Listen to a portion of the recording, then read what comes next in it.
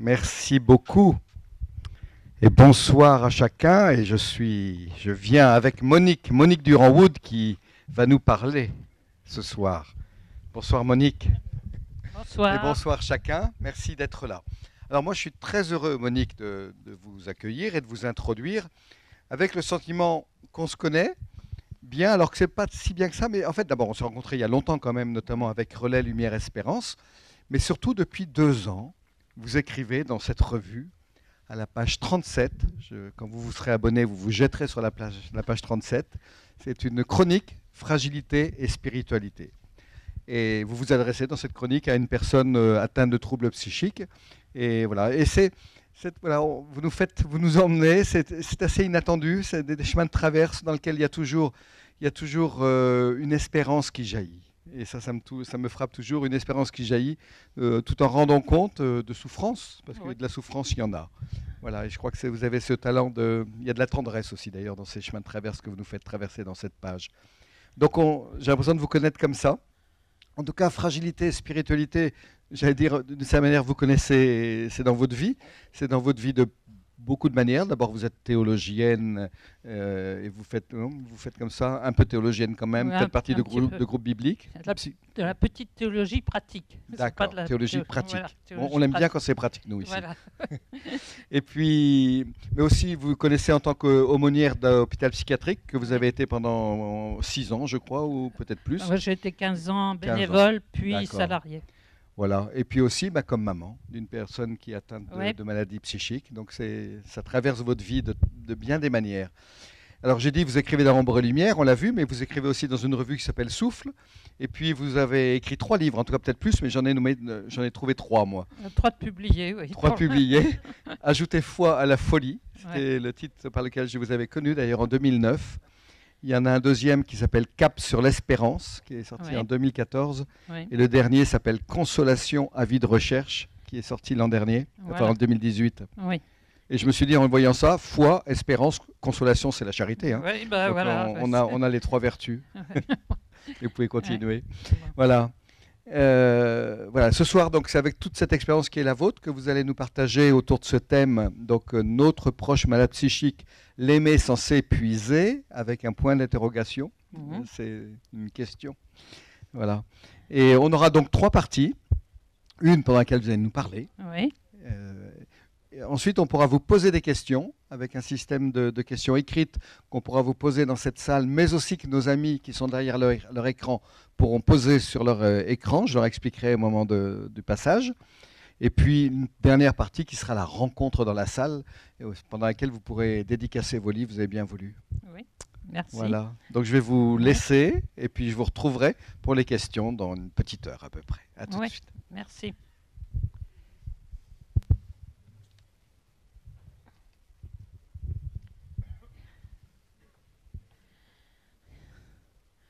Alors, euh, l'aimer sans s'épuiser, c'est vraiment tout un programme. hein. aimer, déjà aimer. Bon, On peut dire c'est la tâche la plus exaltante d'aimer, mais la plus difficile aussi certainement si on ne veut pas s'y épuiser. La difficulté n'étant pas tellement d'aimer les personnes aimables, je veux dire toujours aimables s'il en est, mais d'aimer celui ou celle qui vous en fait voir par moment, en particulier le proche qui va mal dans sa tête, et de l'aimer comme il est, mais aussi pour ce qu'il est. Alors la tâche peut certainement être épuisante à tous les niveaux si l'on ne commence pas par s'aimer soi. Et si, pour y parvenir, on ne regarde pas d'abord ce qui gêne cette estime de soi.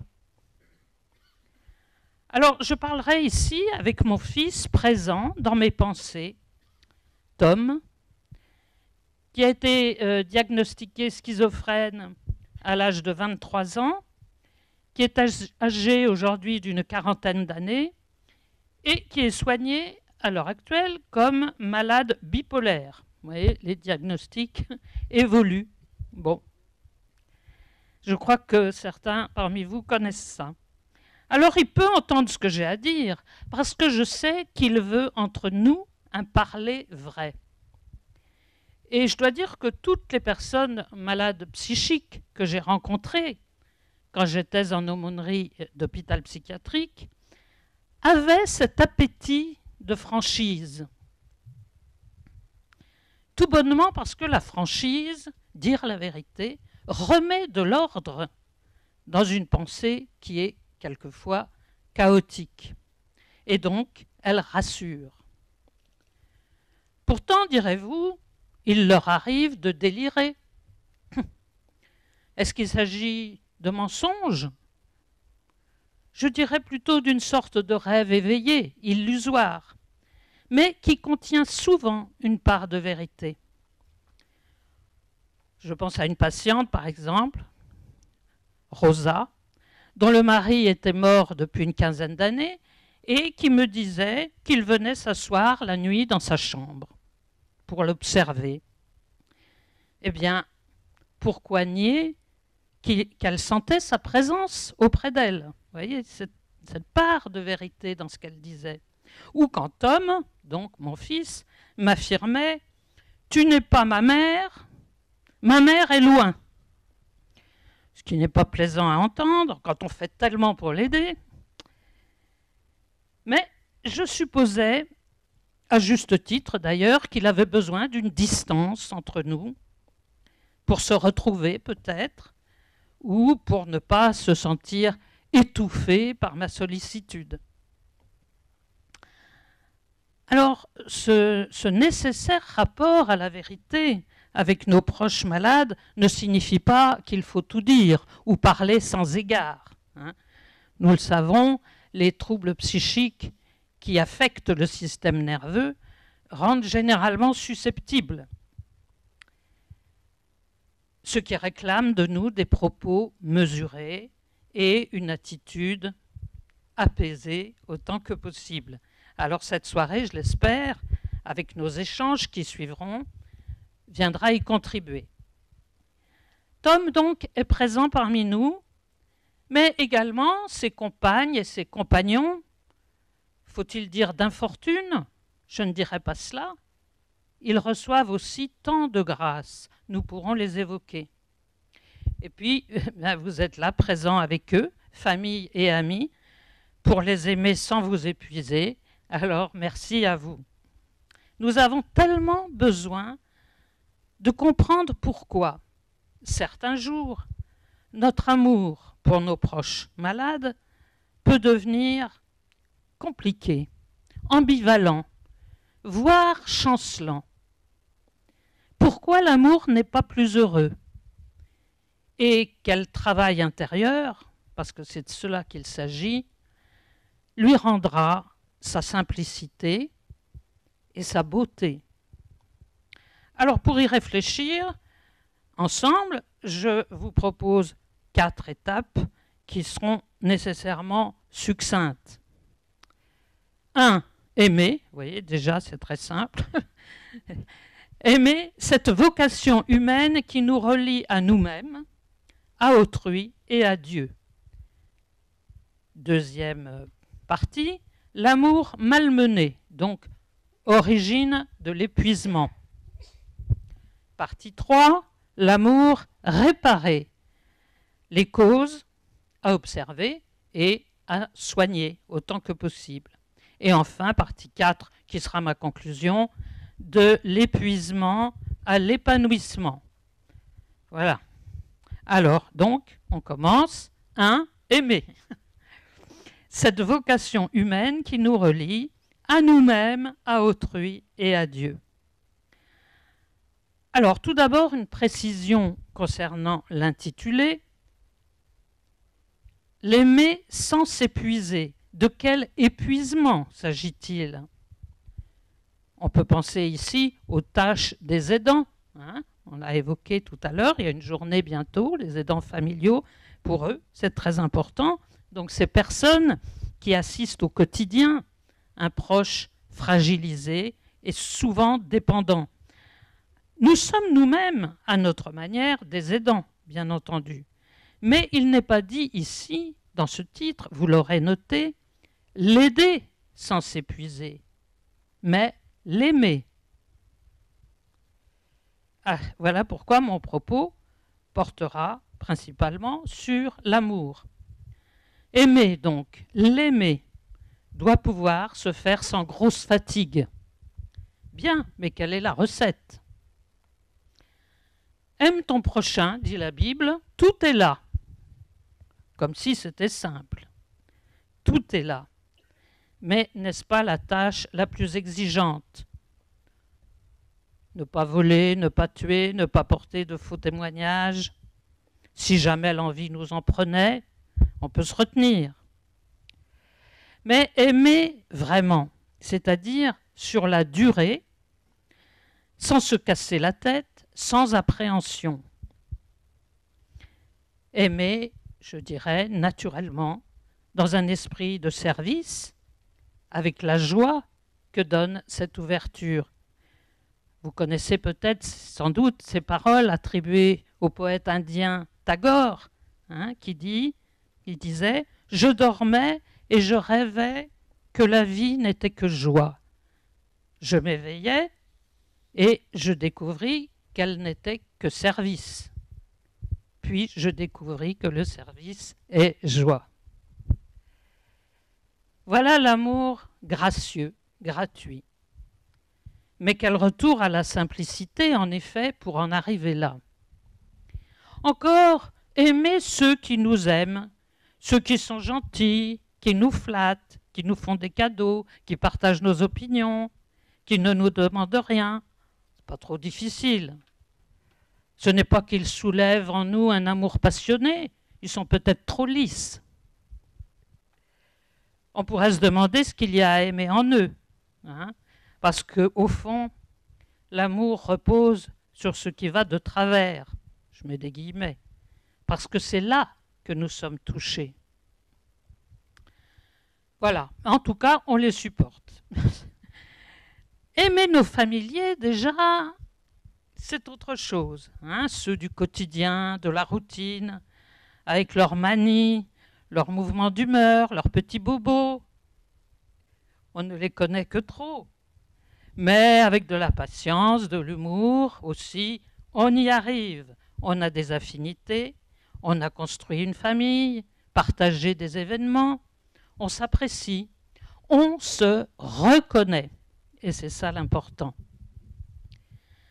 Parce que aimer un parent qu'on ne reconnaît plus, en revanche, ou qui ne vous reconnaît plus, ou seulement par moment, un proche atteint d'une psychose ou bien d'une démence, par exemple, l'aimer en toutes circonstances, pas seulement quand il sourit ou quand il dort, voilà qui demande de l'investissement et qui peut épuiser. À moins que, l'on entre dans cette expérience dont nous ne remercierons jamais assez le proche fragilisé,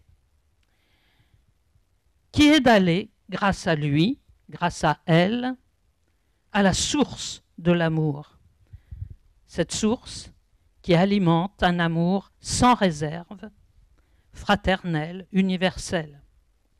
Alors pour moi, je l'avoue, quand Tom entrait en crise maniaque, quand je ne le reconnaissais plus, en tout cas tel que je le connaissais auparavant, qu'il m'accablait de reproches, me menaçait, insultait la terre entière, je ne l'aimais pas beaucoup. À vrai dire, je me refusais à l'aimer, parce que l'aimer me faisait trop mal. De cet amour-là, en tout cas, hein, un amour mal ajusté, blessé, méfiant, que je n'avais pas encore allégé et éclairci en moi-même. Oh, bien sûr, le sentiment demeurait. Hein. Face à la détresse de Tom, mon cœur vibrait d'émotion j'éprouvais de l'affection, ou disons un attachement. Mais peut-être ne s'agissait-il que d'instinct maternel, ou bien d'une volonté de compensation parce que le cœur a besoin d'aimer, ou encore d'un réflexe d'obéissance à l'injonction chrétienne aime ton prochain? Alors, je parle au passé parce que j'ai appris à apprécier Tom vraiment, à l'aimer sans état d'âme particulier, sans entrave, sans épuisement psychique ou moral.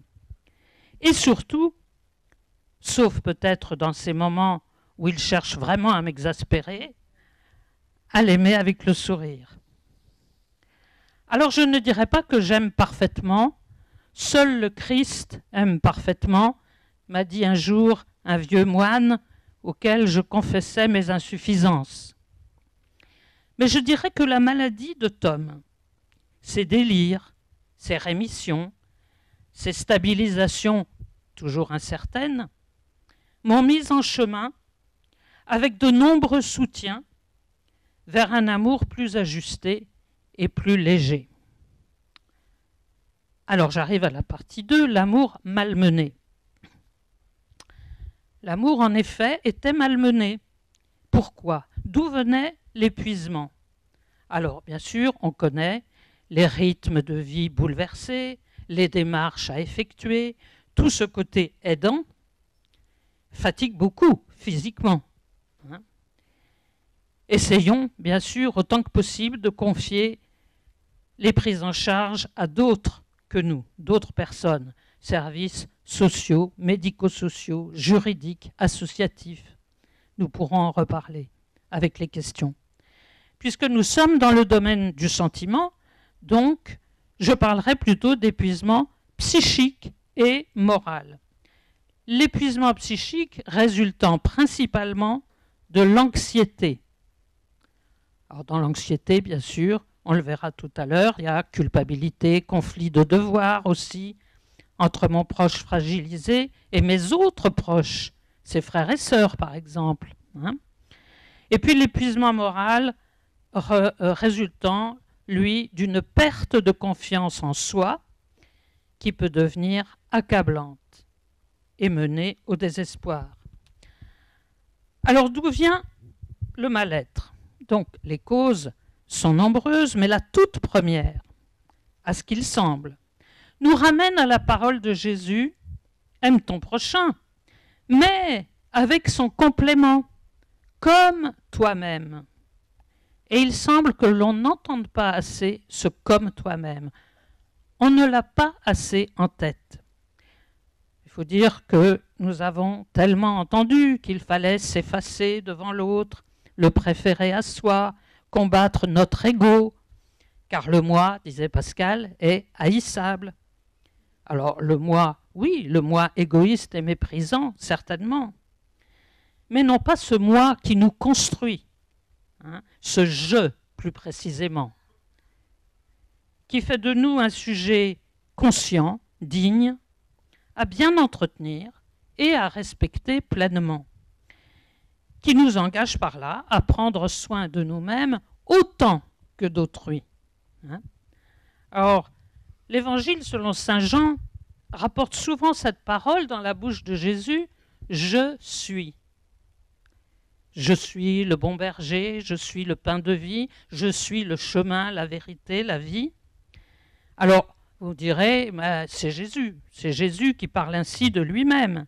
Mais enfin, il appelle à limiter une multitude de frères et de sœurs. Hein. et l'expérience montre bien qu'on ne peut pas aimer autrui l'aimer sereinement, avec justesse, si l'on se mésestime. Et donc, cette équivalence attendue entre l'amour pour soi et l'amour pour l'autre, je dis bien équivalence, hein, et non pas domination de l'un sur l'autre, remonte loin, puisque le livre du Lévitique, composé selon la tradition sous les directives de Moïse, comporte déjà cette injonction aime ton prochain comme toi-même. Lévitique 19, 18. Or, c'est un fait, donc souvent on ne s'aime pas. Je l'ai entendu beaucoup, en tout cas pour ma part, lors d'entretiens avec des familles. dans la relation aux proches malades, aux, proches malades psychiques notamment, hein, c'est-à-dire à cet être au comportement dérangeant, bizarre, parfois agressif. Souvent, on ne s'aime pas. On croit s'aimer parce qu'on se juge meilleur que le voisin ou la voisine, que le collègue, ou parce qu'on s'offre une gourmandise de temps en temps. Bon, mais les déceptions par rapport à ce qu'on ambitionnait pour ce proche, hein, avant que surgisse la maladie, les sentiments de honte quelquefois par rapport à l'entourage, au voisinage, la crainte pour l'avenir, tout cela use l'estime de soi. Or, cette perte de l'estime de soi abîme l'estime que nous avons pour l'autre. Quelque part, on lui en veut. Elle nous empêche de reconnaître sa dignité. Elle fausse le regard. Quand Jésus dit Pardonnez, il vous sera pardonné, ce n'est pas de l'ordre du chantage, hein c'est un rappel de la réciprocité entre nous. Ce que nous faisons ou ne faisons pas pour autrui nous est renvoyé en miroir. Hein Donner, on vous donnera, relève de la même logique solidaire. Ainsi, ce qui malmène notre amour pour l'autre, c'est que nous sommes déjà malmenés nous-mêmes. Par des membres de l'entourage, c'est possible. Par un membre du personnel médical, cela arrive. Mais plus souvent par nous-mêmes. Alors d'autres causes vont venir renforcer ce processus. En même temps que je les détaillerai, j'avancerai les remèdes possibles, des remèdes possibles. Hein. C'est pourquoi je les inclus dans cette partie 3, l'amour réparé. Alors déjà, si nous sommes chrétiens, nous pouvons nous rappeler les nombreux textes inspirés qui disent l'amour de Dieu pour nous dans la Bible. Hein. Or souvent, cette bonté divine, nous l'ignorons, ou plutôt, si nous ne la sentons pas dans nos fibres, eh bien nous avons du mal à y croire. Nous avons pu lire pourtant hein, ces paroles tirées d'Isaïe, du livre d'Isaïe au chapitre 49. La femme oublie-t-elle son nourrisson? Oublie-t-elle de montrer sa tendresse à l'enfant de sa chair. Même si celle-là l'oubliait, moi je ne t'oublierai pas. Voici que, vous connaissez, hein, sur mes paumes je t'ai gravé. Que tes murailles sont constamment sous ma vue. Ils accourent, tes bâtisseurs, et tes démolisseurs, tes dévastateurs, loin de toi s'en vont. Tout est important dans ce texte. Hein. C'est euh, Isaïe 49, 15, 17. Même si nous ne connaissons pas ce texte, euh, pardon, même si nous le connaissons, si nous l'avons déjà entendu, il y a des mots qui retiennent moins notre attention. Par exemple, tes murailles sont constamment sous ma vue. Au sens premier, il s'agit des murailles de Jérusalem, mais le peuple se trouve alors en exil. Jérusalem est loin. Hein. Il en ressort donc que le mot muraille est à prendre au sens figuré, comme l'assurance donnée par Dieu d'un abri spirituel en chacun de nous, une force venue d'en haut qui nous rassemble en nous-mêmes, qui fait de chacun de nous un sanctuaire. Quant aux démolisseurs et autres dévastateurs, ils peuvent nous rappeler nos obsessions, nos cauchemars, nos angoisses. Hein. Mais retenons la suite. Loin de toi, ils s'en vont. C'est-à-dire loin de toi. Si tu as connaissance de l'amour de Dieu, une connaissance intime, hein, s'en vont le découragement, le ressentiment, le scrupule excessif, etc tout ce qui vient miner l'estime de soi. Quel beau texte, promesse inégalée de l'amour insistant et persuasif du Très-Haut. Et pourtant, et pourtant, que de réticence quand vient l'épreuve pour nous croire aimés. même familier de la prière, assidu aux célébrations liturgiques, participant à des partages de paroles, ça aide quand même, hein mais même nous doutons au moment de l'épreuve de la bonté divine à notre égard. Nous nous pensons abandonnés. Mais n'oublions pas, Jésus lui-même a connu ce sentiment. Hein. Pourquoi m'as-tu abandonné, mon Dieu? On peut entendre ici, dans ce verset d'un psaume, sa solidarité avec nous et avec tous les souffrants de la terre. Il n'empêche que ce cri, à un moment, l'a traversé lui aussi. Hein. Donc, voilà, acceptons-le. Vous connaissez peut-être cette histoire qui raconte qu'un homme, après sa mort, arrive au ciel. Alors il voit le parcours effectué au long de son existence, avec, à la surface de la Terre, deux traces de pas parallèles. Sauf qu'à certains endroits, là où le parcours a été le plus pénible, il n'y a qu'une trace de pas. Alors, arrivé devant Dieu, l'homme fait cette constatation. Hein, et, je vois bien que tu as été avec moi au long de mon parcours, au long de mon existence, quand il y a deux traces. Mais dans les moments les plus durs, je ne vois, je ne vois plus qu'une trace, tu m'as laissé seul. Et Dieu répond, Mon enfant, là où il n'y a qu'une trace, c'est parce que je te portais.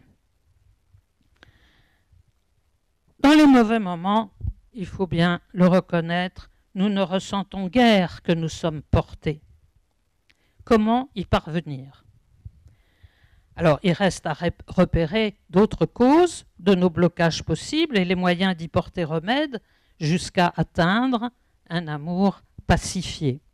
J'en ai retenu trois, toutes trois de l'ordre du sentiment. Le sentiment d'injustice, le sentiment d'indignité et le sentiment de culpabilité. Alors le sentiment d'injustice. Oh, je crois que beaucoup d'entre vous, vous l'avez connu à un moment. Hein. Pourquoi est-ce que ça m'arrive à moi? Qu'est-ce que j'ai fait au bon Dieu? On disait autrefois, peut-être le dit-on encore. Cette agressivité soudaine chez mon proche, ces destructions, ces délires insultants, quand Tom entrait en crise maniaque, par exemple, ou bien s'il était dépressif, cet abattement, ce mutisme, ces tentatives de suicide, il y en a eu plusieurs. D'où vient que ça nous tombe dessus et pas à d'autres, à nos voisins d'étage? Bon. C'est une révolte légitime dans un premier temps. Le problème avec ce sentiment d'injustice, c'est sa persistance parce qu'à ce moment-là, bah, il introduit la rancune, la jalousie, le ressentiment. Il rend sujet à ce qu'on appelle aujourd'hui la victimisation, hein, ce mot devenu courant. Nous sommes tellement persuadés que les autres ont plus de chance que nous. Erreur, erreur. Nous le constatons bien vite dans la fréquentation d'associations, de groupes de parole, de salles d'hôpitaux, nous apprenons que de nombreuses familles vivent un drame ou ont connu un drame. Hein. Beaucoup, derrière les façades, portent silencieusement leur croix. Et puis nous sentons bien que la comparaison est vaine. Comparaison n'est pas raison, hein, dit le bon sens. Qu'est-ce que je sais vraiment du bonheur ou du malheur d'autrui? Souvent, ce sentiment d'injustice remonte à la petite enfance. Dans les conflits avec les frères et sœurs ou les cousins, et l'histoire de Caïn et Abel en est vraiment l'illustration. Hein. Cependant, au fur et à mesure que chacun s'affirme, heureusement, les rivalités s'estompent. À moins qu'il y ait une querelle d'héritage, malheureusement cela arrive, les querelles se transforment le plus souvent en complicité affectueuse.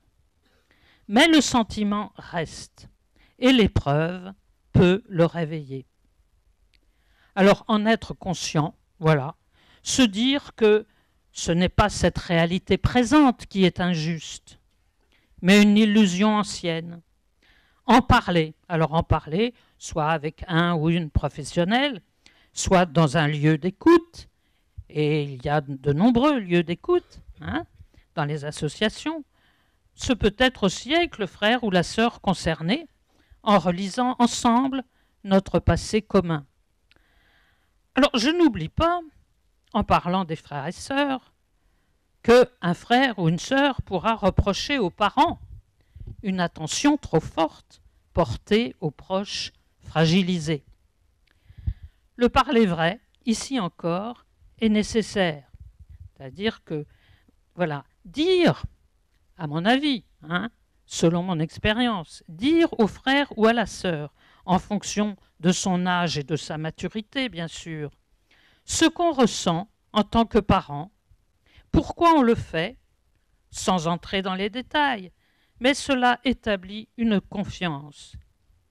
Remercier ce frère ou cette sœur pour ce qu'il est lui ou pour ce qu'elle est elle, pour sa présence à nos côtés, ceci tout en l'engageant à suivre sa propre voie.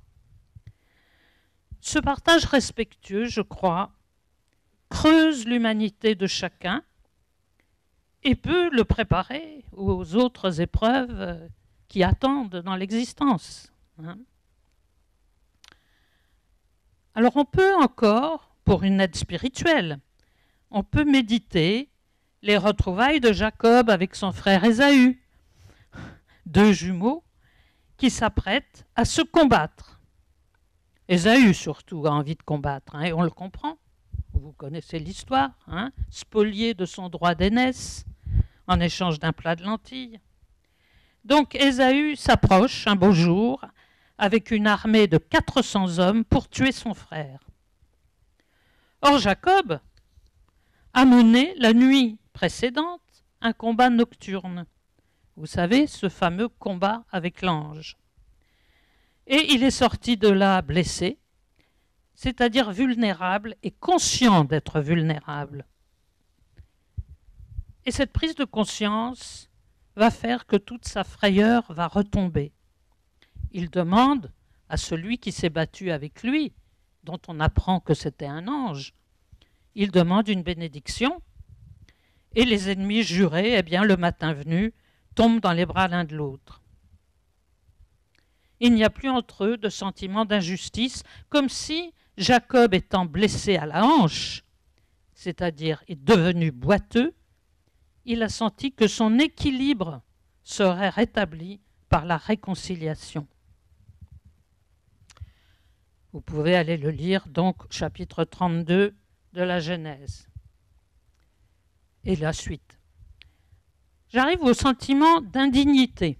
Alors là aussi, en général, on traverse ça, c'est-à-dire je ne comprends rien à ce qui se passe, je ne sais pas quoi faire pour en sortir, je suis un ou une incapable, incapable, je me sens nul. Ce sentiment est fréquent face à la maladie psychique particulièrement. Pourquoi? Bah, C'est justement que je ne sais pas pourquoi c'est arrivé. Souvent à l'adolescence, comme chez Tom, quand il semblait que tout allait à peu près bien. Les symptômes sont impressionnants, les réactions imprévisibles. Je me sens impuissant, isolé, perdu, incompris, et je m'auto-déprécie. Là encore, avec ce sentiment d'indignité, les causes sont souvent anciennes. Quand j'étais formatrice dans la fonction publique territoriale il y a quelques années, j'avais un grand nombre de stagiaires qui préparaient les concours de catégorie C et qui avaient connu l'échec scolaire. Alors je les aidais à préparer leurs concours et souvent ils s'étonnaient. Vous croyez vraiment que je peux y arriver? On m'a toujours dit que j'étais nul. Bien sûr je croyais qu'ils pouvaient y arriver.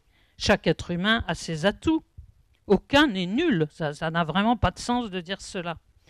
Et puis, surtout, qui peut progresser sans confiance en soi? Alors maintenant, pour nous, quand ça nous prend, comment combattre ce sentiment? Là encore, une prise de conscience est nécessaire. J'en suis là, oui, j'en suis là, je me sens vraiment euh, moins que rien, ou en tout cas euh, impuissant, incapable. Je ne peux plus me regarder dans la glace. Que faire? Alors on peut peut-être noter les petites choses, vous savez, les petites choses même infimes qui nous valorisent. Le bonjour d'une voisine, d'un commerçant, le SMS bienveillant d'une amie, un souvenir heureux, une carte postale reçue. On parle beaucoup de gratitude en ce moment. Il y a des très beaux livres d'ailleurs qui sont sortis récemment sur la gratitude. Et voilà, c'est cette gratitude de petites choses au quotidien. Et si on y prête attention, on en trouve toujours de ces petites choses, petites et même parfois grandes.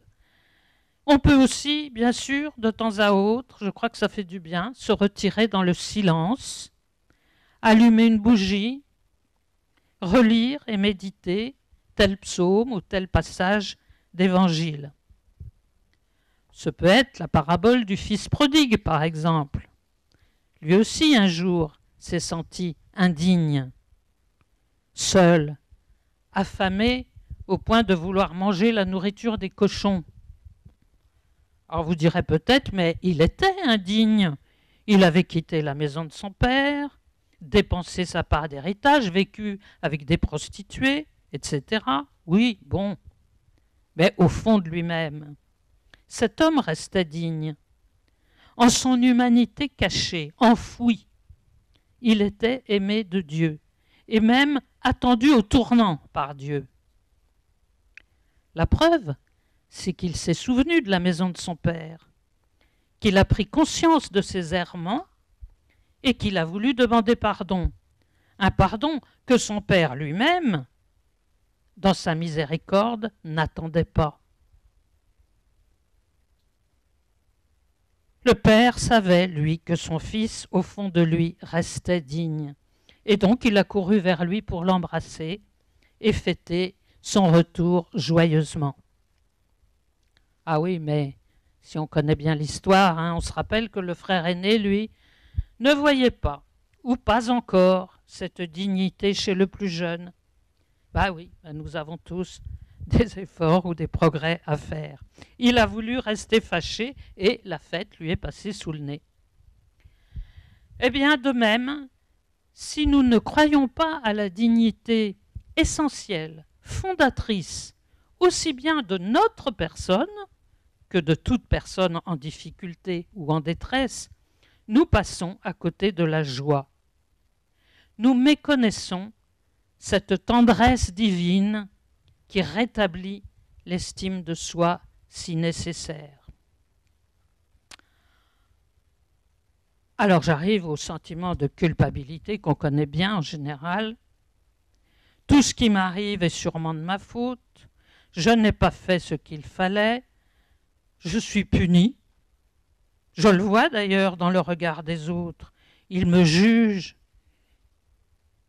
Ils jugent que mon comportement a été déficient, Soit je n'ai pas assez aimé, j'étais absent, préoccupé, distrait, superficiel. Soit à l'inverse, j'ai été trop aimante ou aimante, envahissante, exclusive. C'est possible. D'ailleurs, on peut lire sur, sur le sujet l'excellent ouvrage de Lita Bassé, théologienne protestante, Aimer sans dévorer, hein, chez Albin Michel. On a pu aimer tantôt trop, tantôt pas assez. Mais on ne refait pas le passé. Et puis on a fait ce qu'on a pu. L'heure n'est pas au remords. Sinon, nous entrons dans des mécanismes obsessionnels, une anxiété permanente, une espèce de honte chronique. Alors des sentiments qui sont douloureux pour soi, bien sûr, mais qui sont pesants aussi pour notre entourage. Il hein, ne faut pas l'oublier.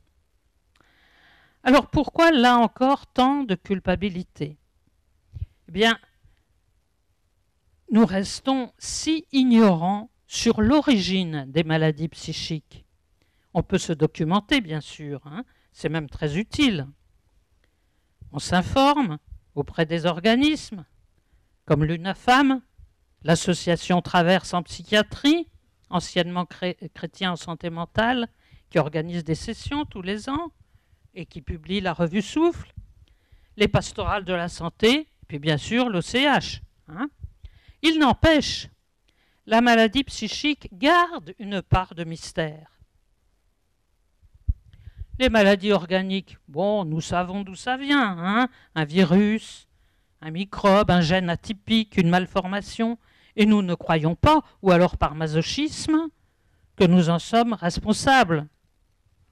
Oh, certes, vous trouverez des justiciers qui vous diront que si vous souffrez de ceci ou encore de cela, c'est que vous avez péché dans vos comportements, dans votre hygiène de vie, ou que vous n'avez pas bien réglé un conflit ancien. C'est peut-être vrai en partie. Hein, je ne dis pas le contraire. Mais c'est très insuffisant et surtout, surtout, cela n'aide pas. Or, ici, face à la maladie psychique, la situation est plus compliquée encore. Comme il faut une explication, voilà, on est comme ça, on a besoin de trouver des explications. Donc il faut une explication, mais l'ennemi est invisible. Alors, eh bien, on recherche un bouc émissaire. Et pas besoin de chercher loin, puisque la vie relationnelle entre le parent et le malade en crise, je dis bien en crise surtout, hein, puisque cette vie relationnelle en prend généralement un coup, c'est que le parent a dû fauter. Notre éducation a eu des ratés, nos attitudes manquaient de justesse. Il n'y a pas si longtemps, ce type d'accusation pullulait. Je suis navré de le redire, mais lors de mes études de psychologie à Montpellier, au début des années 80, j'ai eu droit en psychopathologie à un cours sur les mères de schizophrènes et sur les épouses d'alcooliques. Autrement dit, le mal venait de là. Les femmes battues apprécieront, hein, enfin passons. Mais disons que cette vision injuste et catastrophique, bien entendu, a un peu changé, je crois, quand même. Mais des suspicions demeurent, y compris parfois en nous-mêmes.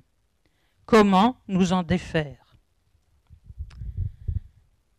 Quelqu'un m'a dit l'autre jour, Dieu habite nos insuffisances. Habitons-les, nous aussi, avec lui. Alors c'est vrai, bah oui, c'est vrai, je ne suis pas exemplaire, je suis limité, je suis sujet ou sujette à l'erreur, aux erreurs. Je l'ai admis devant Tom. Oui, oui, oui, j'ai été maladroite, absente au bon moment, au bon endroit, certainement. Pardon. Cela dit, je ne l'ai pas fait exprès. Je ne voyais pas clairement de quoi j'étais coupable à son égard, alors que je faisais tant pour lui venir en aide. Mais je me sentais coupable. Eh bien, reconnaître ce sentiment, habiter ce sentiment. Hein si possible, en parler, là encore, dans les groupes de partage, au sein d'associations, déposer nos fardeaux. Se confier à un ou une psychologue si nécessaire, pour la partie épuisement psychique, et puis à un ou une aide spirituelle expérimentée pour l'épuisement moral. J'ai été bien aidé pour ma part, hein, en un temps où je m'accablais de reproches par une psychologue chrétienne, d'une part, pour dénouer certains conflits, et par un moine, un moine qui avait été analysé, d'autre part, pour fortifier ma relation à Dieu, à moi-même et à autrui. Alors, ce n'est pas la peine forcément de chercher hein, des psys. Je veux dire, on peut se contenter d'une personne amie, pourvu qu'elle soit une personne de confiance, au parler vrai, et surtout à l'attitude positive, ouverte. Hein. On parle beaucoup de psychologie positive aujourd'hui, c'est très intéressant Là aussi, je vous conseille ces lectures. Enfin, là encore, donc pour ce qui est de la culpabilité, nous trouvons des paraboles bibliques adaptées. Il y a vraiment pour tout, pour tout le monde hein, dans la Bible. J'allais dire pour tous les goûts et pour toutes les situations.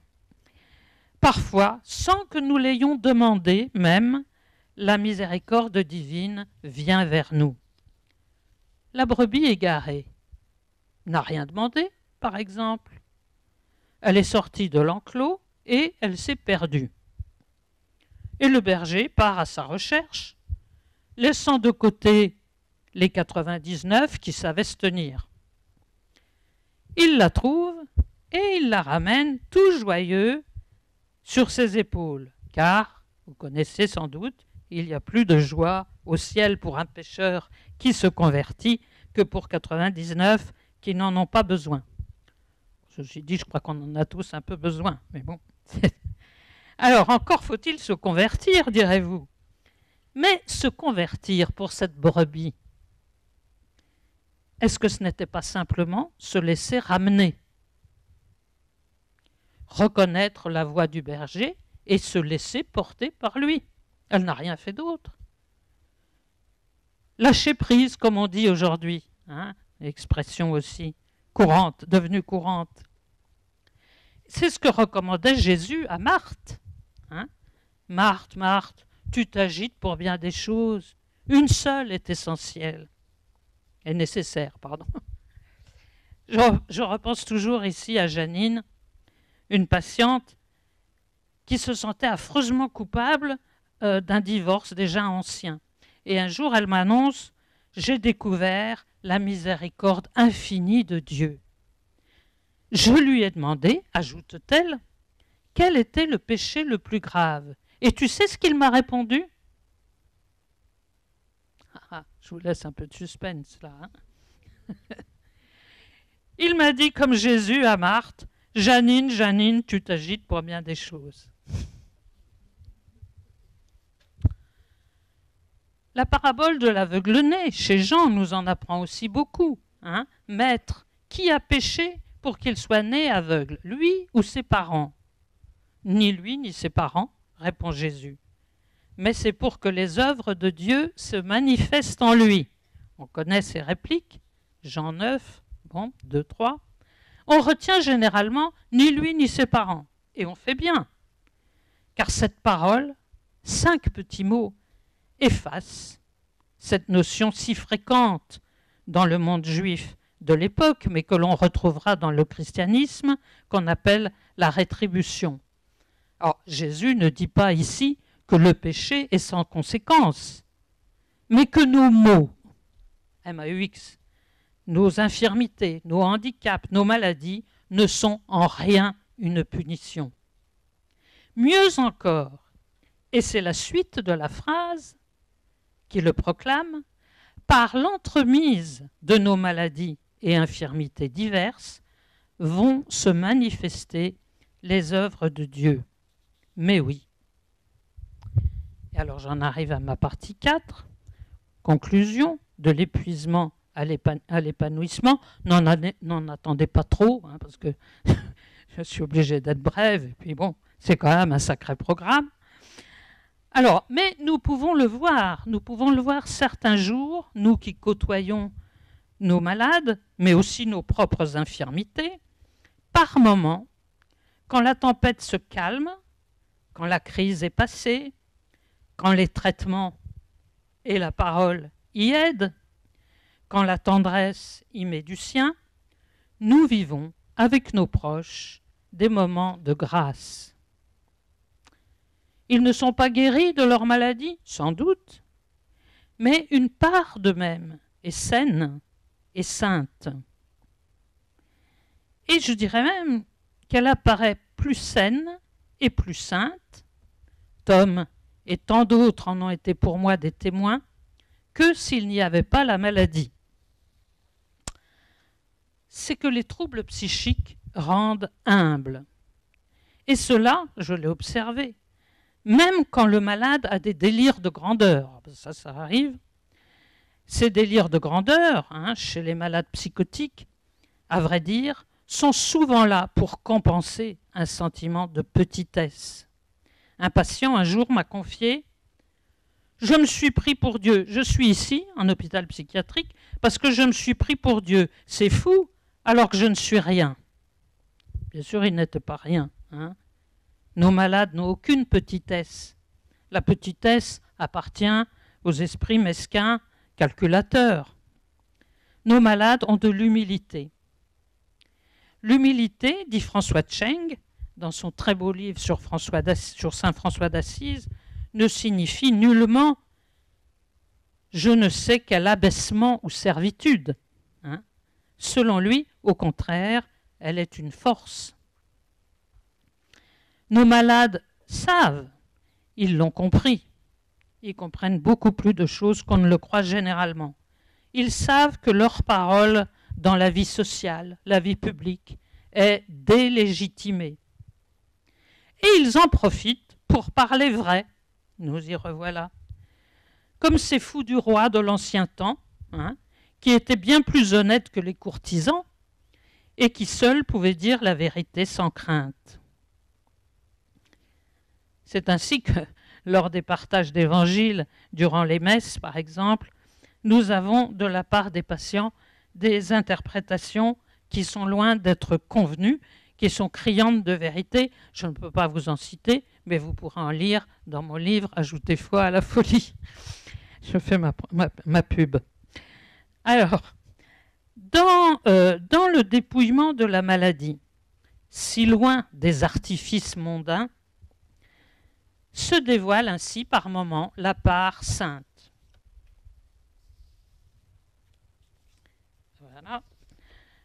Nous y pressentons l'habitation de Dieu. Un Dieu qui choisit la fragilité, l'étrangeté et disons quelquefois le baroque. On dira que ces moments de lumière ne peuvent pas durer. Demain se lèvera un ouragan. Peut-être, mais goûtons-les, ces moments de grâce. Tom s'est accusé l'autre jour au téléphone, il habite en province, mais je l'ai tous les jours au téléphone, il s'est accusé euh, donc l'autre jour d'avoir tué un oiseau quand il était adolescent. Et aussi, bah, maintenant qu'il est stabilisé depuis un moment, pourvu que ça dure, mais bon, on verra bien, il dit bénir tous les oiseaux qu'il croise. Il leur parle, comme autrefois Saint François, et il remercie Dieu pour eux. Il bénit aussi les plantes, et même les gens qui se moquent de lui, quand il ramasse tout ce qui traîne sur les trottoirs sales, pour le déposer plus loin dans les poubelles. Alors je, je, le félicite, bien sûr. Je reconnais que s'il n'est pas apte à travailler, il remplit un devoir de citoyen, comme beaucoup devraient en prendre de la graine. Tous les midis, il déjeune dans un salon de thé et il fait une prière avant et après sa brioche, à voix basse, mais ses lèvres remuent. Et des gens s'en étonnent. Alors, il me prévient, au téléphone toujours, je ne délire pas. Mais il y en a qui croient que je délire. Eh bien, que voulez-vous qu'il le croient, hein, si du moins il le laisse en paix? Après des années de maladie, dans cette simplicité acquise des deux côtés, comment ne pas sentir Dieu présent? Oui, les œuvres de Dieu se manifestent là et il y aurait beaucoup d'exemples à donner. Et nous pourrons garder le souvenir, quand reviendra le temps de l'épreuve, de cet amour qui ne passera jamais. Alors, eh bien, nous aimerons dans la légèreté et nous pourrons dire, comme Saint Jean dans sa première épître, nous aimons parce que Dieu lui-même nous a aimés le premier. Merci.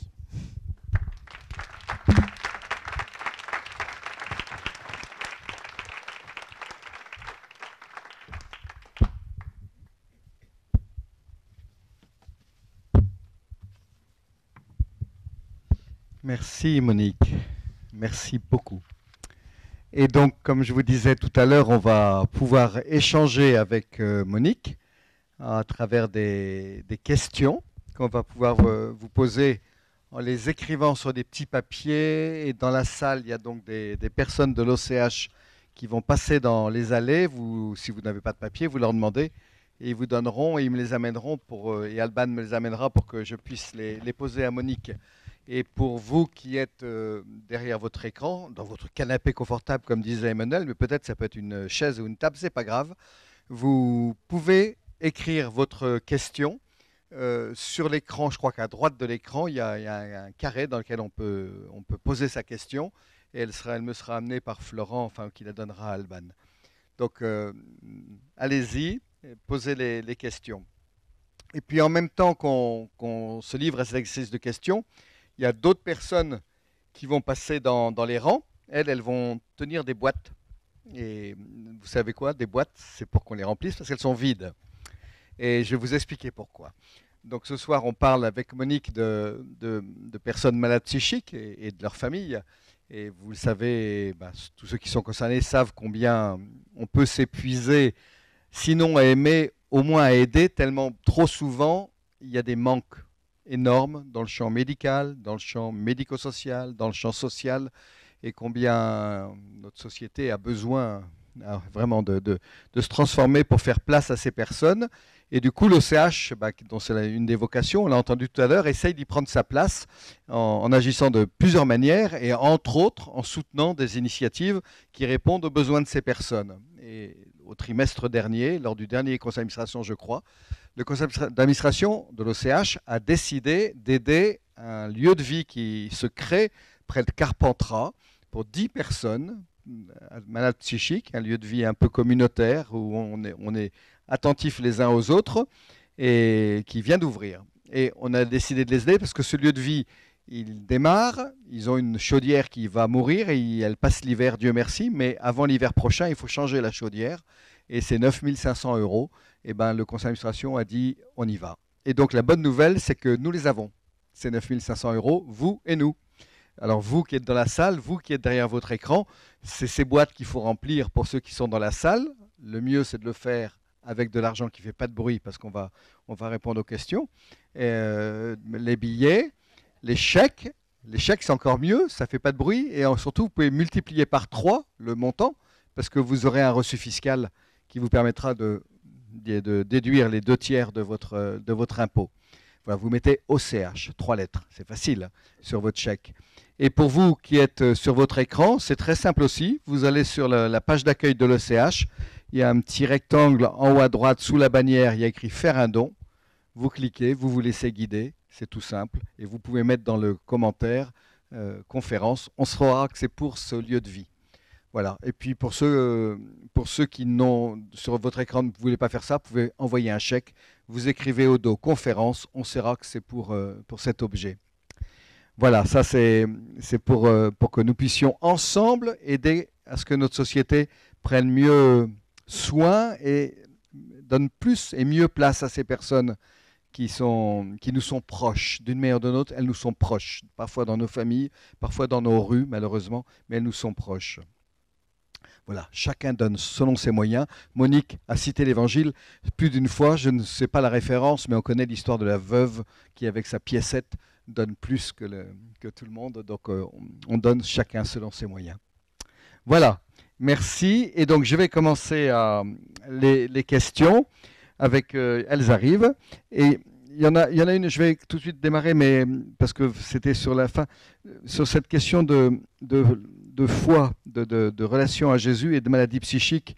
Euh, vous disiez, on croit que je délire. Tom, c'est Tom qui vous disait ça.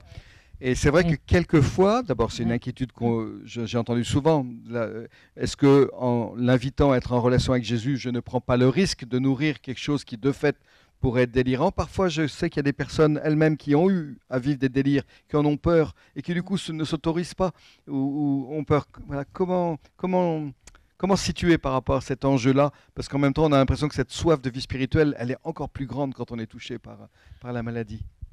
Oui, je ne crois pas que euh, parler de Jésus, leur parler de Jésus puisse alimenter le délire, au contraire.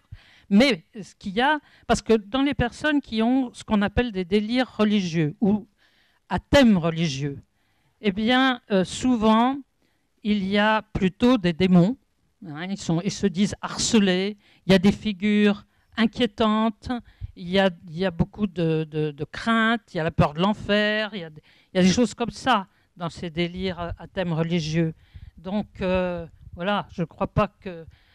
Vous savez, euh, à une époque, enfin quand j'étais euh, donc responsable d'aumônerie, parfois quand un patient avait un délire un peu religieux dans sa tête, eh bien, les soignants, certains soignants, l'envoyaient à la messe. Pourquoi?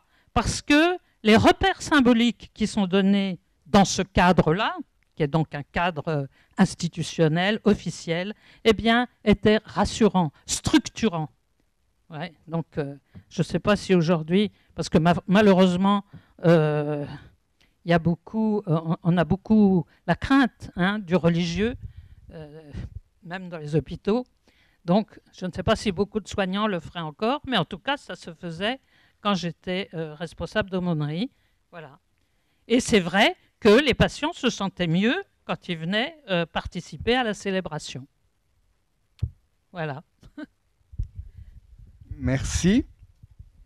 Eh ben, merci beaucoup pour le témoignage plein d'espérance et de confiance que vous nous avez donné.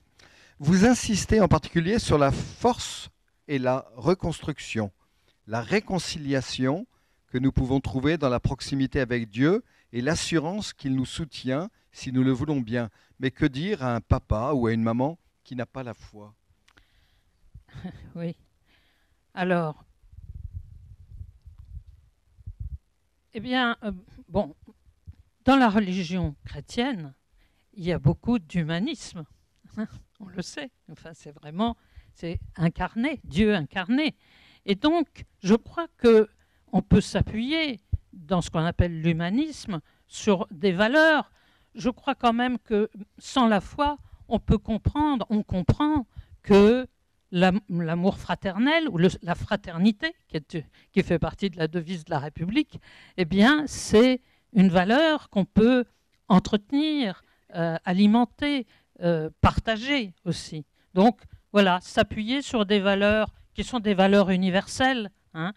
Dans le christianisme, on retrouve des valeurs universelles. Donc appuyons-nous sur ces valeurs qu'on trouve aussi voilà, dans l'humanisme non chrétien.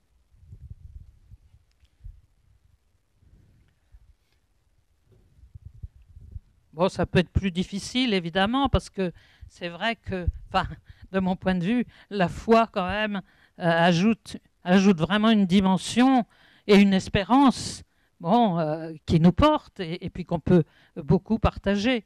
Mais enfin, euh, parfois aussi, il y a des personnes qui disent ne pas avoir la foi. Et si on y va délicatement, évidemment, hein, mais qu'on leur parle de notre espérance, eh bien, elles peuvent être touchées, touchées et demander à, en savoir plus, alors avec beaucoup de délicatesse, mais je crois que ça interpelle, comme on dit aujourd'hui. Donc n'hésitons pas aussi hein, à, dire, à dire notre espérance, témoigner de l'espérance qui est en nous, comme il était dit.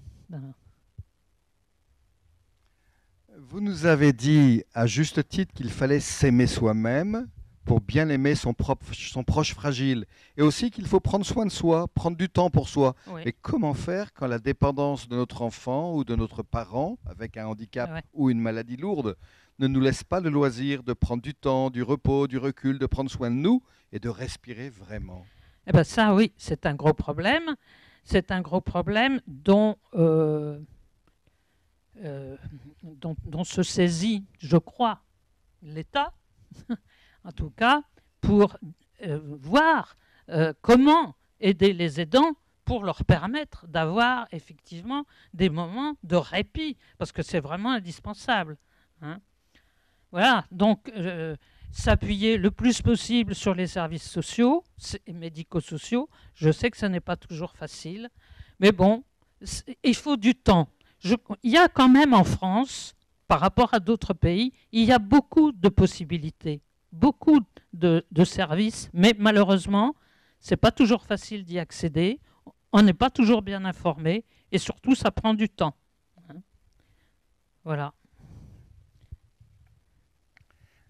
Voilà. Il y, a, plusieurs questions et personnes donc sur la, toujours la vie spirituelle, la relation à Dieu.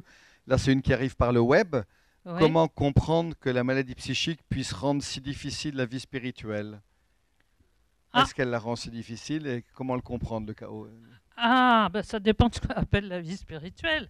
Euh, disons que peut-être une vie, une vie religieuse, euh, euh. Ça, c'est peut-être difficile. Mais je ne dirais pas la vie spirituelle. Et j'étais même très étonnée pour ma part de découvrir tant d'ouverture spirituelle parmi des personnes malades psychiques. Et je crois que cela vient, bon, ça vient, il y a plusieurs causes, mais aussi, ça vient, il y a cette humilité, et puis il y a aussi ce besoin euh, de trouver des structures. Et je le disais tout à l'heure, la religion, enfin la religion chrétienne en particulier, euh, les, religions en général, mais bon, c'est celle qu'on connaît le mieux ici, offrent des repères symboliques sûrs. Enfin, voilà, ça ne veut pas dire que on va adhérer à toute, euh, la doctrine, encore faut-il la connaître d'ailleurs, mais en tout cas, il y a des repères symboliques sûrs. Euh, enfin, il faudra en parler très longuement parce que on a de la chance. Enfin, c'est, ben, par exemple, à la, pendant les célébrations à l'hôpital, on n'avait pas que des chrétiens d'ailleurs ou que des catholiques, hein, mais on avait des personnes qui étaient là, qui étaient fascinées, euh, admiratives devant le partage, enfin le, le, pain et le vin. Voilà, les symboles du pain et le vin. Il n'y a rien de plus simple. C'est basique presque. Et pourtant, voilà. Le moment aussi, la paix du Christ. Alors on se donne la paix du Christ. Et alors, il faut dire qu'en hôpital, euh, souvent, euh, au moment de la paix du Christ, tout le monde va donner la paix à tout le monde. Bon, ça prend un peu de temps. Mais c'est joyeux, c'est formidable. Bon, il y a quand même quelques personnes, il faut toujours y faire très attention, qui ne veulent pas être touchées. Bon, eh ben voilà, bien sûr, hein, ça chacun euh, a sa sensibilité mais il y, a, il y a une participation très grande et je crois que c'est aussi le fait de se sentir en groupe. Quand on est dans, une célébration en hôpital psychiatrique, ce n'est plus un groupe de malades, c'est un groupe de fidèles. Et ça change énormément de choses pour les personnes. C'est là que je dis qu'il y a quelque chose qui les structure. Alors bien sûr, il ne faut pas les forcer. D'ailleurs, il y a toujours beaucoup d'allées et venues hein, pendant les célébrations, mais ça ne fait rien. Voilà, c'est autre chose qu'à ma paroisse. Mais bon, bah, voilà. Mais c'est aussi une église, l'église. Proposer le sacrement des malades à une personne qui a déjà fait des délires mystiques, est-ce raisonnable? Les médecins n'y sont guère favorables. Bah, si la personne est en en plein délire, effectivement, il vaut mieux attendre. Mais ça ne dure pas euh, tout le temps. Hein. Le délire s'apaise. Il y a toujours des moments d'apaisement qui viennent. Et dans le moment d'apaisement, pourquoi pas Avec une parole, bien sûr, qui accompagne, hein, et, toujours beaucoup de délicatesse, et en parler avant avec les soignants pour attendre le bon moment. Hein. C'est toujours important aussi de dialoguer quand on peut. Ce n'est pas toujours facile, mais parfois c'est formidable, avec des soignants qui sont à l'écoute, qui connaissent bien euh, la personne, le patient ou la patiente, et voir avec eux, montrer qu'on leur fait confiance, et eux aussi vont nous faire confiance à ce moment-là, et on pourra, je pense, aboutir à une démarche commune.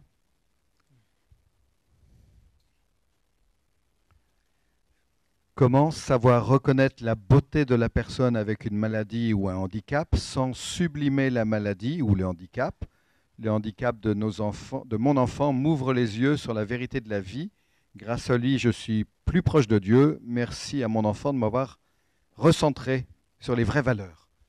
Eh bien, la personne a donné la réponse juste après sa question, j'ai l'impression, puisque voilà, elle a su voir les, les valeurs qui étaient là, en effet, présentes. Et Tom vous a fait faire ce chemin? Ah oui, oui, oui, oui, beaucoup. Beaucoup, euh, c'est vrai. Je suis pleine d'émerveillement euh, pour ce qu'il me raconte parfois au téléphone. C'est, je dirais, évidemment, c'est pas toujours cohérent, mais il y a une dimension poétique. Voilà. moi, je vois beaucoup une dimension poétique, au sens large du mot. Hein, ce pas les petites fleurs bleues nécessairement. Qu'est-ce que c'est une dimension poétique eh ben, Une dimension poétique, c'est justement, je crois, cette offre qui est faite de pouvoir s'émerveiller de quelque chose d'inattendu. Parce que c'est vrai que euh, quand il est en crise, là, bon, ben, bon, faut attendre que ça passe. Hein. enfin, attendre, on n'attend pas, mais on le confie, on le confie aux soins, hein, aux soins médicaux, évidemment. Hein. On ne peut pas gérer ça tout seul. Mais voilà, il y a la crise et puis il y a la retombée de la crise, qui ne veut pas dire que la maladie est terminée, bien sûr que non, puisqu'elle est chronique. Mais euh, il y a quand même un apaisement et une possibilité de dialogue.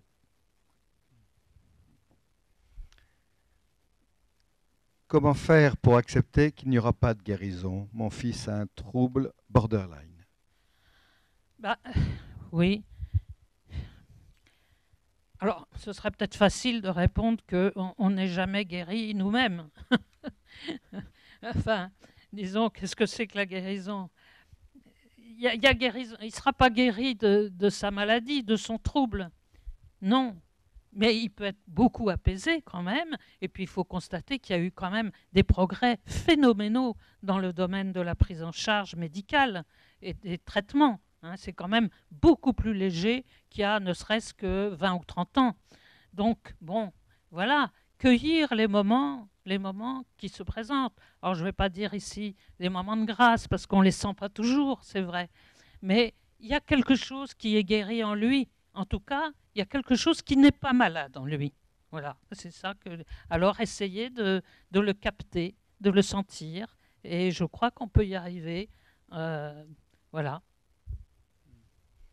Alors, c'est peut-être dans la continuité où, ça fait aller encore plus loin. Comment faire lorsque la personne atteinte psychiquement se, se retranche sur elle-même et ne veut rien dire à l'entourage, y compris familial, sur sa maladie, sur lui-même? Eh bien, ne pas insister. voilà. Si la personne ne veut rien dire, ne pas insister parce que elle a le droit à son silence, elle a le droit à son, à son retrait.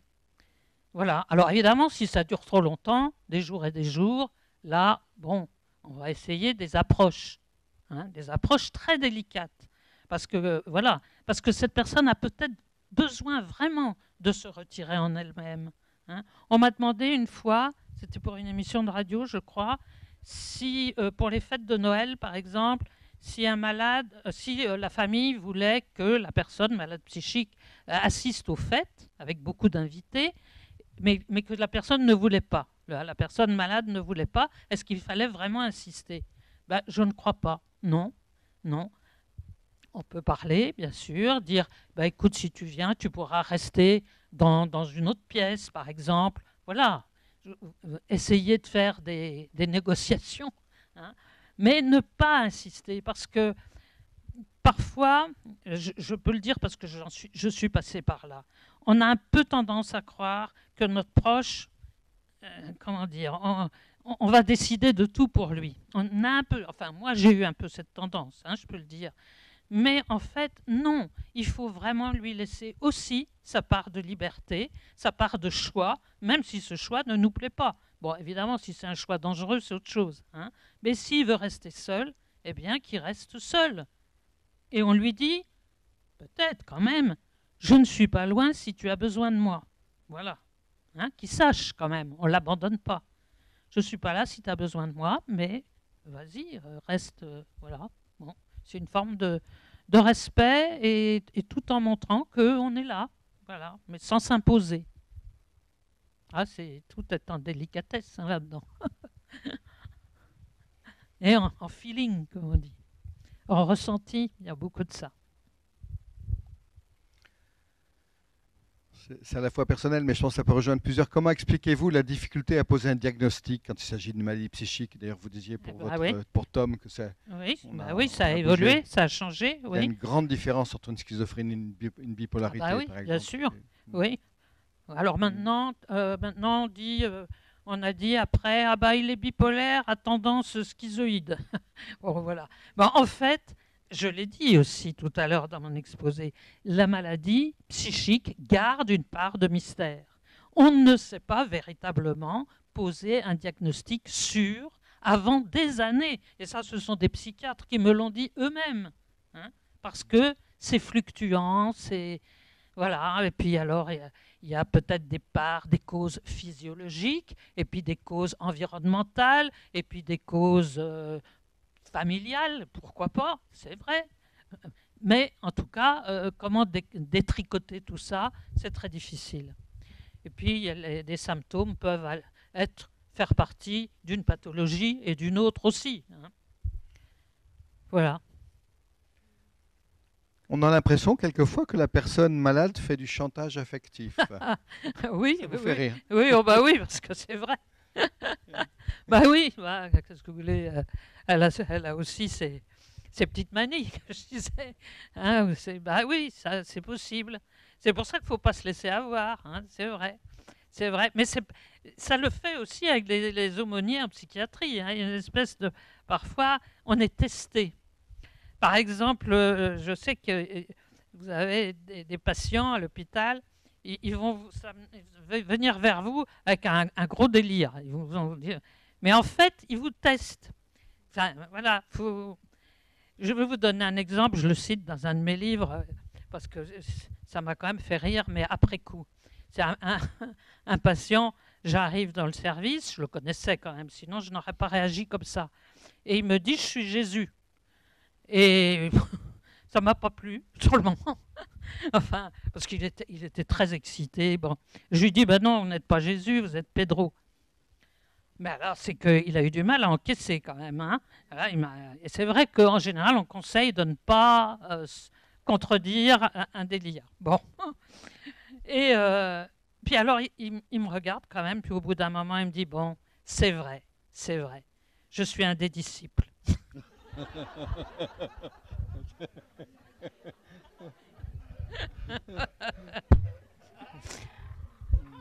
Ben oui, ben voilà. Donc, euh, vous voyez, on peut, on sourit beaucoup parfois. Alors là, il y a une situation personnelle, je ne vais pas le dire tout, mais la, la question, elle est pour tout le monde. Peut-on soigner quelqu'un qui ne veut pas être soigné? Faut-il faire une hospitalisation de force? C'est des choses qu'on entend souvent dans, à l'OCH. Ah ben, euh, si la personne est en crise et si on considère qu'elle est en danger, c'est ça le critère hein, d'ailleurs, en danger pour elle-même ou pour les autres, eh bien on demande l'hospitalisation. Ah ben oui, ça, euh, alors c'est très dur à faire. hein. Ça, euh, ben, il y en a qui en savent quelque chose ici, sûrement, et moi aussi j'en sais quelque chose. C'est extrêmement difficile à faire parce qu'on a l'impression d'envoyer son proche euh, voilà, derrière les barreaux. Enfin, c'est terrible, mais il faut le faire. Il faut le faire si, voilà, s'il représente un danger pour lui-même ou pour autrui. De toute façon, maintenant, quand on appelle le SAMU ou les pompiers, euh, on parlemente un moment au téléphone. Ils vous demandent est-ce qu'il suit un traitement, quels sont les symptômes, ils s'informent. Hein. Ils vont pas venir comme ça embarquer euh, quelqu'un, heureusement d'ailleurs, simplement parce qu'il y a la demande d'un parent ou d'un voisin, hein, heureusement. Donc euh, voilà, et ils vont comprendre rapidement s'il s'agit véritablement d'une crise due à un problème psychique. Et ils viendront le chercher. Et il sera hospitalisé. Et il ne faut pas hésiter. Voilà. Et moi, je dirais que chaque fois, ça a été très dur, mais ça a été un soulagement. Voilà. Et après, on peut en reparler Ah oui. On en reparle. Oui, alors pas tout de suite, hein, parce que c'est vrai qu'il vous en veut, le, le, le proche, il ou elle. Vous en veut, évidemment. Ah, tu m'as fait interner, tu m'as pris pour un fou, etc. Bon, bah oui. Puis, euh, bon, quand ça va un peu mieux, qu'il est apaisé, bah, on dit, bah écoute, euh, j'ai cru faire pour le mieux parce que je te sentais en danger. Voilà. Bon, eh ben, c'est toujours essayer de se parler vrai, mais avec délicatesse et en prenant, en laissant un peu de temps pour que ça puisse euh, être a- admis, entendu.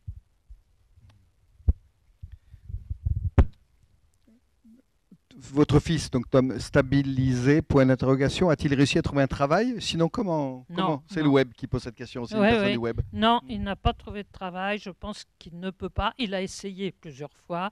Et puis, bah, ça a duré deux, trois jours. Et parce qu'en fait, il ne peut pas. Il ne peut pas rester sur des horaires fixes. Enfin, voilà, c'est vraiment en dents de scie. Alors, il a quand même trouvé. Il, plus ça va, plus il a comme une certaine stabilité. Bon, ceci dit, tous les jours, il y a un infirmier ou une infirmière qui passe chez lui. hein.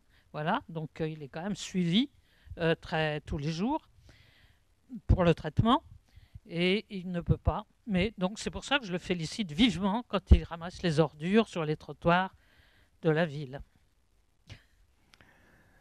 Vous avez cité des associations. Pouvez-vous nous redire les noms des associations Oui. qui aident à être conseillés Alors, l'UNAFAM, je crois que beaucoup connaissent ici, qui est donc l'Union nationale des amis et familles de malades psychiques. Euh, et puis, alors, bah, bien entendu, l'OCH, mais ça, vous en parlerez. J'allais le dire sinon.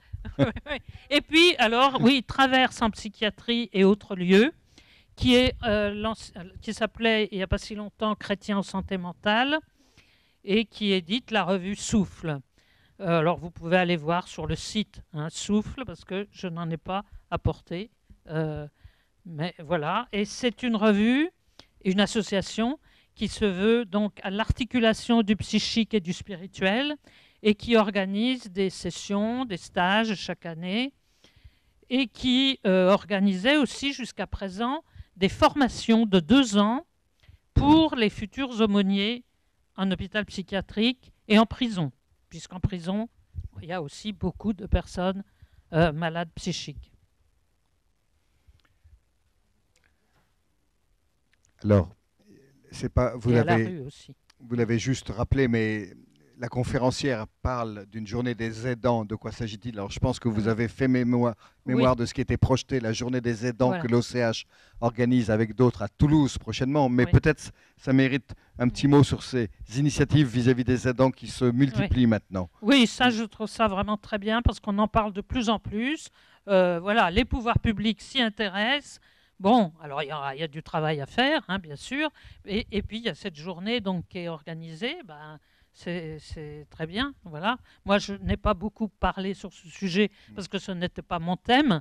hein, mais je, voilà, c'est fondamental, Ça effectivement. aide à ne pas s'épuiser. En tout cas, ça Oh, peut ça, c'est sûr. Oui, oui.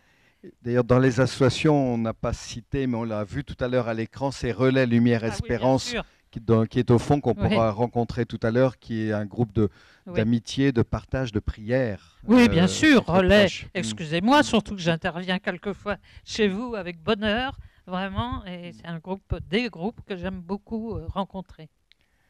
Et les amis, les amis des personnes malades ou les amis des familles, comment est-ce qu'ils peuvent aider Euh, pour, Notamment pour aider à, à pas trop se fatiguer, entre guillemets? Que- quelle place on peut prendre, nous les amis, quand on, on Ah a un couple d'amis qui est concerné, quand on a parfois peut-être un Bah, Peut-être les aider à garder l'estime de soi et justement euh, les encourager à, à sortir, à, à prendre soin d'eux-mêmes.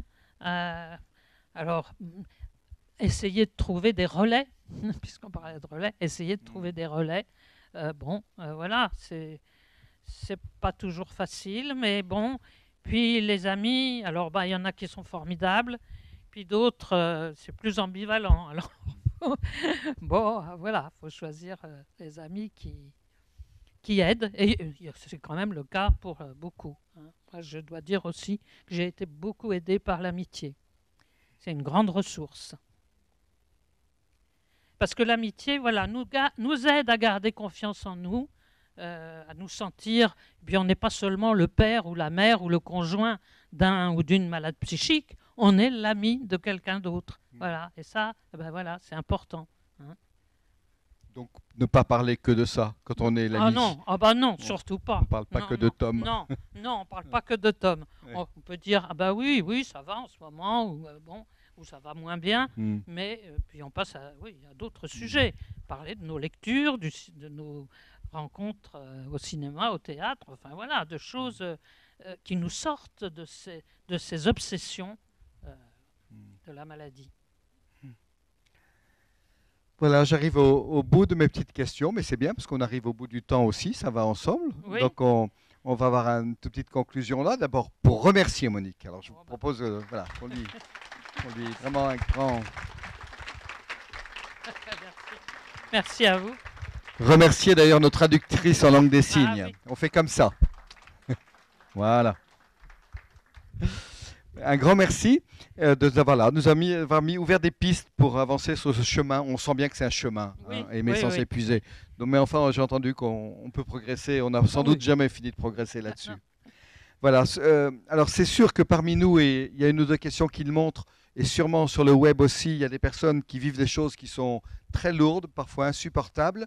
Je le redis, on l'a dit, mais vraiment, alors, il y a ces associations, il y a notamment le service écoute et conseil de l'OCH euh, que vous n'hésitez pas à appeler, même quand vous pensez que ça n'a, il n'y a pas de réponse. On est là pour chercher avec vous, pour, euh, pour accompagner. Donc appelez l'OCH autant que vous voulez, puis elles vous indiqueront aussi les associations, les mouvements, ce qui existe, qu'il existe des choses.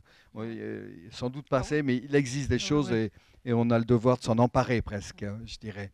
Et elles sont là ce soir, je crois qu'elles ont, en tout cas, vous les trouverez, les personnes, elles sont peut-être un fleur orange autour de vous. Voilà, donc on va continuer autour des stands et pour nos amis euh, derrière le web, eh ben, ils continueront entre eux pour, à échanger aussi. Simplement, pensez à remettre vos petits papiers avec vos coordonnées. Vous gagnerez peut-être le livre de Monique. Euh, qui de toute façon, achetez-le, hein, parce que Monique va les dédicacer. Ils sont là, on va les amener et elle va se tenir ici pour les dédicacer. Donc vous vous approchez. Bien sûr que vous avez rempli votre bulletin d'abonnement pour Ombre Lumière pour aller page 37 sans attendre. S'il n'est pas rempli, vous le remplissez, vous déposez 29 euros et vous partez avec le cadeau, l'Ombre Lumière et, donc les chroniques, de, les chroniques de Monique dans Ombre Lumière. On se retrouve ici le 29 avril avec Samuel et Florent. Je ne sais pas si Samuel est là. Florent, il est là. Ce sont deux frères. Samuel est, autiste, Florent et son frère. On les connaît parce qu'ils avaient rencontré le président Macron au Bernardin. Certains d'entre vous s'en souviennent peut-être à la télévision. Et, voilà, ils ont un beau témoignage de fraternité et de fratrie. Voilà, et c'est donc le 29 avril, ici même à la même heure, et sur le web aussi. Hein. soyez bien présents ce jour-là. Voilà, puis pour conclure, je vous propose bah, y en a un qui s'épuise jamais à nous aimer, c'est le bon Dieu. Hein. Ah bah voilà, là pour le coup, on peut vraiment lui demander parce qu'il en est la source. Donc c'est qu'on chante juste un autre Père. Et pour ceux d'entre nous qui ne partagent pas cette foi, bah, c'est un moment de fraternité. Euh, il fait de nous des frères. On est, on est bien sûr d'être frères, quoi qu'il arrive. Donc on va chanter notre Père, comme ça, sans se lever parce que les chaises sont pas très pratiques. Notre Père qui est au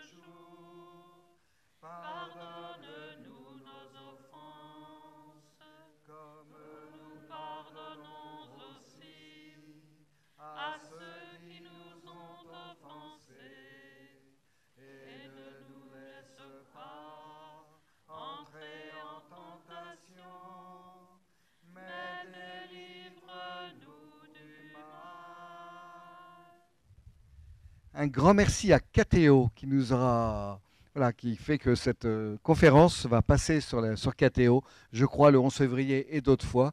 Donc vous pourrez la voir et la revoir et la voir aussi sur la chaîne YouTube de l'OCH. Donc merci d'avoir pris ces images KTO. Merci à nos amis de Square aussi et de nous avoir transmis le son vers euh, et l'image. je ne sais, sais pas comment ça marche, mais il y a des câbles dans tous les sens. Et ce que je sais, c'est que les gens étaient au bout de leur écran et qu'on verra ça sur KTO. Et puis merci à chacun. On se rencontre.